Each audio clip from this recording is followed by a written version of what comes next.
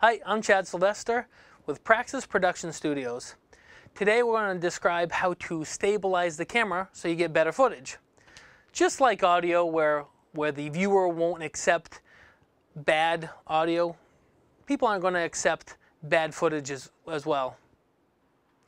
You can purchase many different types of stabilizers. Glidecams, fig rigs, shoulder rigs, or you could build your own. You could search YouTube or Google it, and uh, you, you should be able to find something that you can build on your own. Now, if you're on a budget and you really don't want to build anything, you can try using a monopod.